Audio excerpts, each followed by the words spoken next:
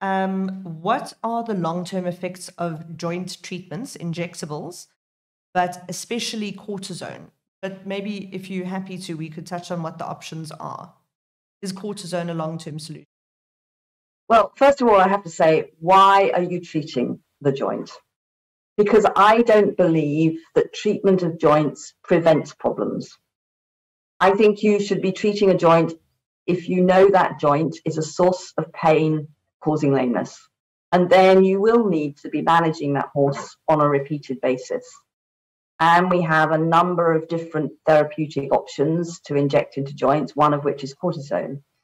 Um, we have different preparations of corticosteroids. Some are shorter acting, some are longer acting, some are more potent than others.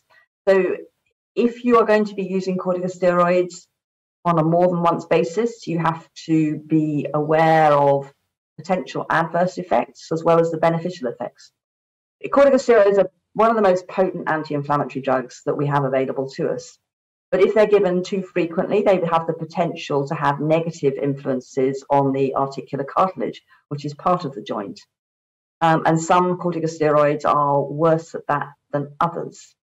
So triamcinolone would be the best, and methylprednisolone acetate would probably be the worst.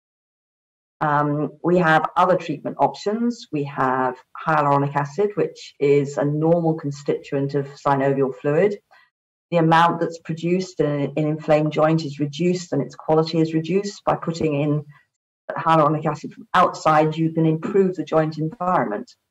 And then one of the more modern treatments is to use stem cells. And there are now commercially available um, stem cell products that can be directly injected into joints, which probably, if you use the right product, can have a quite long lasting effect without the deleterious consequences of corticosteroids. And there are all sorts of other drugs. If you look at the availability, there are all sorts of other drugs, which are some of which have good scientific validity and others which don't. But I would still be saying this treatment, this kind of practice of um, we need to treat the joints. It's four months since the joints are treated. Medicate, yes. Uh, why? Why? Is there any indication that that is of any benefit to the horse unless that joint has an underlying problem? And I would say no. If the horse we know has a problem, then we have to determine what is the optimal interval between treatments for that specific joint.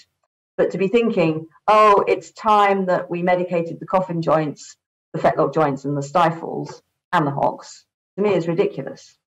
And injecting joints is not a non invasive procedure and it is not without risk um, to the horse because there's always, whenever you stick a needle into a joint, the potential of introducing infection, which can have devastating consequences. Um, Absolutely. So I think we need to be careful when using joint injections.